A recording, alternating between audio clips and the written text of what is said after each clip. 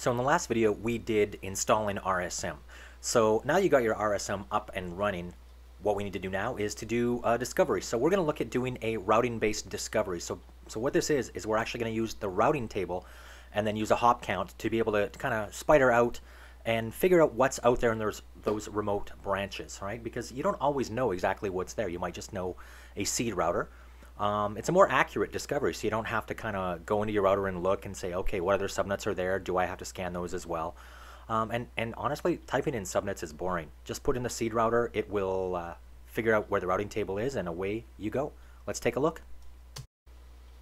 So here we are on the RSM interface here, um, and I think it's also important to note that what we're doing is actually, this works the exact same way as this would on your main site IMC. So the routing routing based discovery is available in your normal IMC as well.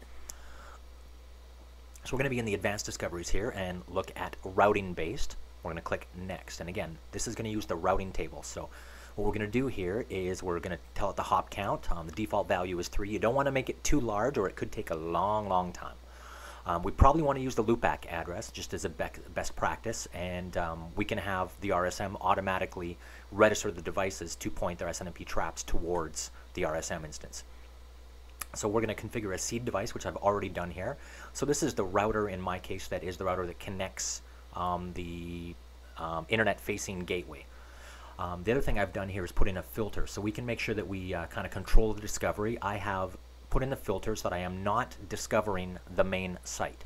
Right, so uh, within RSM, obviously, this is for the remote site, so I want to grab the router from the remote site and I want to see everything behind it. I don't want to see anything from the main site because I'm obviously managing that from IMC. So we're going to do a little bit of movie magic here because we're actually um, scraping through a whole bunch of subnets, and this is actually going to scan all those subnets. And so we're going to speed up the discovery.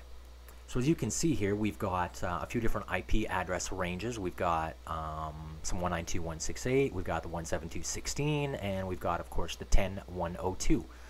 So we found six SNMP devices um, across different subnets, and all of that very easily done just by putting in that single seed router.